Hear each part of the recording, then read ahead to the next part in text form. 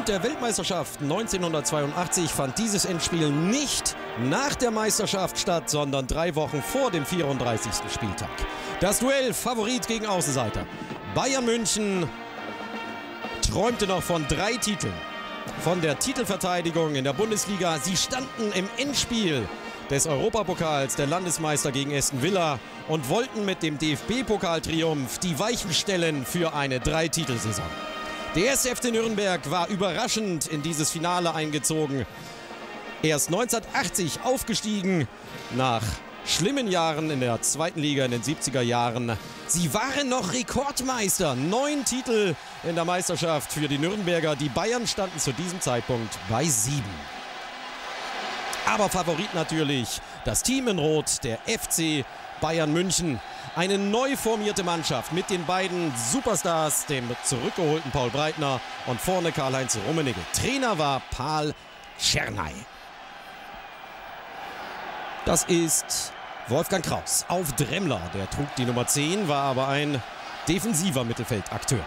Sofort Spielkontrolle der Münchner Bayern. Bernd Dürnberger die Nummer 7 des FC Bayern, zwölf Jahre lang Stammspieler des Vereins, 375 Bundesligaspiele, aber ein Länderspiel hat Bernd Dürnberger nie bestritten. Seltsam. Freistoß nach fünf Minuten. Das ist Breitner. Bisschen lässig.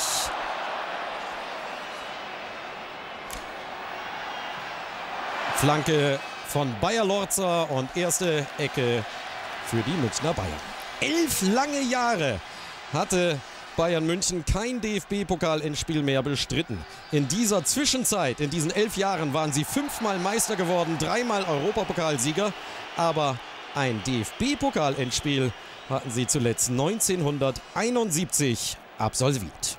Im Tor bei den Nürnbergern betreut von Udo Klug. Rudi Kargus, der erfahrene Mann, der mit dem HSV auch schon Meisterschaft und Pokal errungen hatte. Norbert Schlegel und das ist ein Versuch von Peter Stocker. Er spielt im rechten Mittelfeld des FCN. Muntere Anfangsphase. Viertelstunde mittlerweile vorbei. Horstmann, der Linksverteidiger, gibt den Ball nach vorne und ein böser Zusammenprall. Das sah im ersten Moment gar nicht so schlimm aus, aber diese Szene hatte weitreichende Folgen für dieses Endspiel. Alois Reinhardt, der Nürnberger am Boden, genauso wie Dieter Höhnes, Mittelstürmer des FC Bayern München. Der Auftakt der berühmten Turban-Story, aber halt nur der Auftakt. Dr. Müller-Wohlfahrt bei Dieter Höhnes, der kam zurück mit einem klitzekleinen fleischfarbenen Pflaster. Hier rumpeln die Köpfe zusammen. Reinhard musste an der Augenbraue abgeklebt werden und Hönes sehr fair mit dem Handschlag. Sie sehen, das sah noch nicht schlimm aus bei Dieter Hönes. Ein kleines fleischfarbenes Pflaster beim Bruder von Manager Uli Hönes. Aber die Geschichte war längst noch nicht zu Ende. Trotz dieses Handicaps haute sich Hoeneß in einen Kopfball nach dem anderen. 20 Minuten mittlerweile vorbei. Stocker auf den schnellen Werner Heck, Mittelstürmer der Nürnberger. Werner Heck und Werner Dressel. Da wollte der Underdog den Elfmeter. Zweikampf zwischen Augenthaler und Dressel, aber das war wohl eher etwas abgehoben von der Nummer 11, Werner Dressel. Das erste Pflaster hatte sich gelöst bei Dieter Hönes. Nun also die XXL-Variante. Quer über die hohe Stirn geklebt von Müller-Wohlfahrt. Das verunsicherte natürlich den Favoriten aus München. Geht es weiter mit Hönes, ja oder nein? Inzwischen musste auch schon Bayer Lorzer für Niedermeyer ausgetauscht werden. Es lief nicht rund. Die Nürnberger wurden jetzt überlegen. Dressel auf Heck und hier ist Herbert Heidenreich. 27 Jahre jung, aber im Gesicht durchaus schon vom Leben gezeichnet. Herbert Heinreich. Gut gespielt. Werner Heck, der Mittelstürmer, der über Mannheim und Saarbrücken zum FCN gekommen war. Und es blutete und es spritzte auf der Stirn von Dieter Höhnes. Auch das Pflaster hatte nicht gehalten. Und die Nürnberger, sie marschierten. Knapp eine halbe Stunde absolviert. Diesmal war es ein Foul von Augenthaler an Dressel.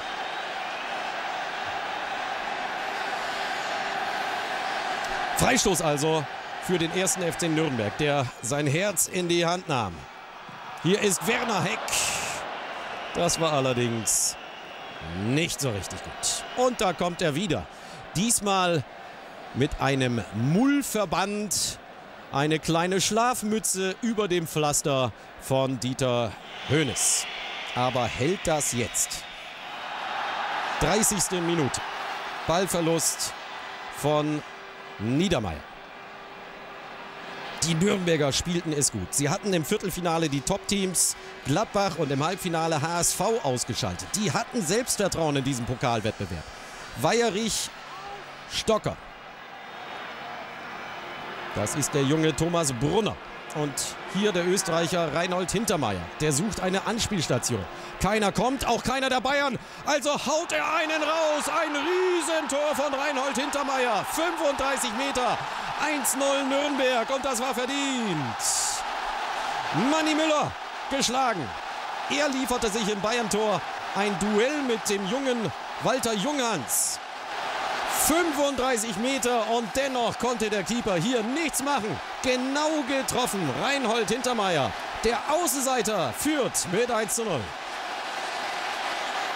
Wir sind noch in der ersten Hälfte. Das ist Dremmler für die Bayern und Dieter Höhnes wieder mit einem Kopfstoß. Trotz klaffender Platzwunde auf der Stirn haute der sich in jeden Ball. Schlussphase dieser ersten Hälfte. Die Bayern wollten noch den Ausgleich. Ihr zwölftes Finale der Vereinsgeschichte. Bislang hatten sie immer gewonnen, national und international. Schlimmer Fehler von Brunner, was macht er denn da? Dicke Gelegenheit für Dieter Hönes kurz vor Ende dieser ersten Hälfte. Aber mit dem Kopf war er halt gefährlicher als unten am Boden. Der junge Manager Uli Hoeneß. Dieses Spiel sollte der Auftakt sein für drei Titel in dreieinhalb Wochen. In der Meisterschaft lagen sie noch hinter dem HSV, dem Spitzenreiter. Und Aston Villa hatte eine schwache Saison in England gespielt. Die müssten doch zu packen sein im Europapokal-Endspiel. Aber Nürnberg machte Probleme. Nürnberg war gut. Werner Dressel verstolpert den Ball nach Fehler von Augenthal. Der Club spielte es klasse. Diese Führung, das war kein Zufallsprodukt. Die Nürnberger waren in der ersten Hälfte besser. Die letzten Minuten des ersten Durchgangs. Dremmler nochmal.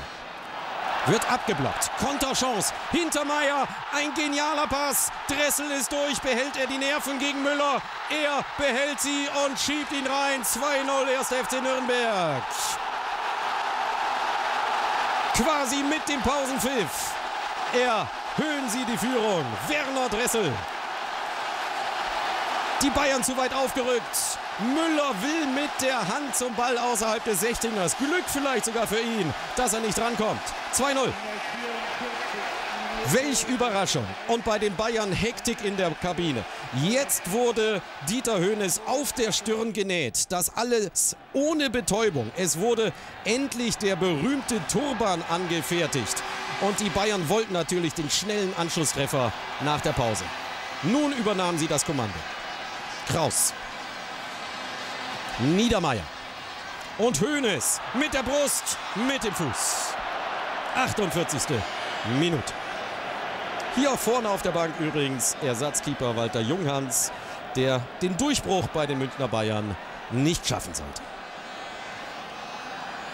Jetzt kam der Favorit über Dürnberger. Das ist Niedermeyer. Nach 25 Minuten eingewechselt für Bayer Lorzer. Kurt Niedermeyer scheitert an Rudi Kages. Der hat in der Saison 79-80 beim HSV geschwächelt und war zum Aufsteiger aus Nürnberg gewechselt. Faustabwehr nicht optimal von Cargos. Dremmler bleibt hängen. Dauerdruck jetzt in den ersten Minuten nach der Pause des FC Bayern München. Breitner, von ihm bislang wenig zu sehen. Dremmler mit der Flanke. Hönes auf Rummenigge. Der aktuelle Fußballer Europas macht es wieder scharf und spannend. Nur noch 2 zu 1. 54. Minute, die Bayern waren wieder dran und Hoeneß, der gehandicapte Hoeneß, hatte vorgelegt mit seinem Turban auf Rummenigge. Bislang Rummenigge perfekt bewacht worden von Norbert Eder, aber ausschalten konnte man diesen Weltklasse-Stürmer halt nicht. Paul Czernay, das sah schon wieder besser aus. Er war 1978 aufgerückt als Assistent des entlassenen Jula Lorand. Die Mannschaft hatte sich gegen die Verpflichtung von Max Merkel ausgesprochen. Und so der namenlose Paul Czernay, Trainer beim Topclub aus München. Dürrenberger, jetzt wurde es richtig dramatisch. Fast jeder Angriff ein Torabschluss. Bernd Dürrenberger, nur 60 Sekunden nach dem 1 zu 2 aus Bayern-Sicht. Tolles Spiel und der erste FC Nürnberg musste jetzt einfach auch wieder für Entlastung sorgen. Sonst würde es hier richtig eng werden. Aber sie schafften es kaum. Kraus. Jetzt vielleicht mal. Gutes Solo von Norbert Schlegel. Der Pass auf Werner Dressel. Torschütze zum 2 zu 0. Dressel auf rechts. Eine Stunde ist gespielt. Werner Dressel auf Herbert Heidenreich. Welch ein Pech für die Nürnberger. Der Schuss noch abgefälscht von Wolfgang Dremmler. Entscheidend abgefälscht. 3 zu 1 nach 60 Minuten. Das wäre es wahrscheinlich dann gewesen. So die Bayern noch im Geschäft. Horstmann, der Ex-Kölner.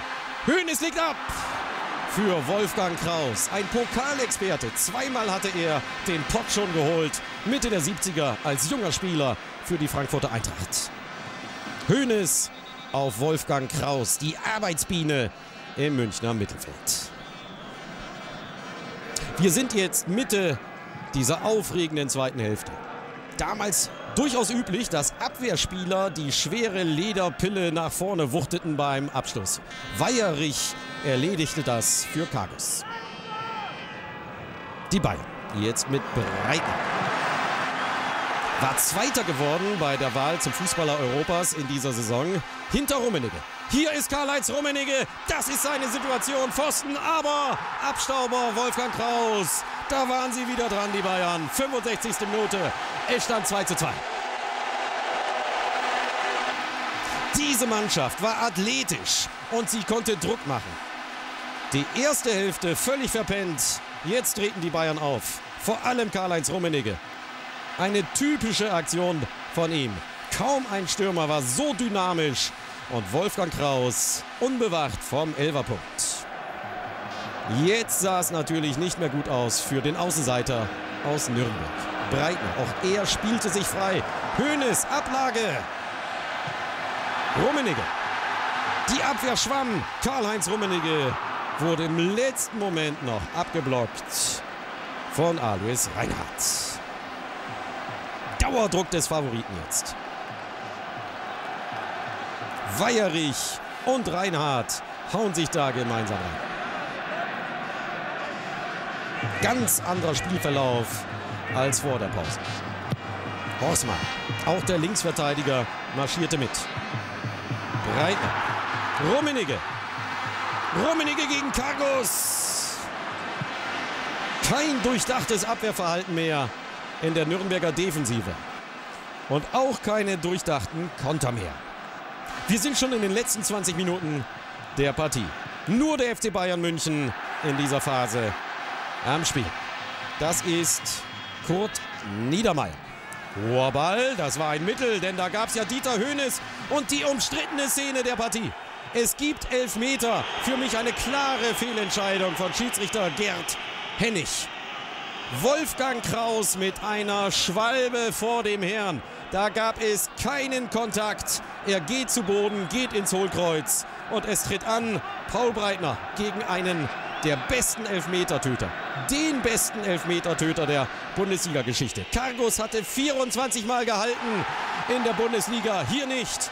Die Bayern hatten es gedreht. 3 zu 2. 72. Minute. Nach Rummenigge trifft auch der zweite Superstar, Paul Breitner.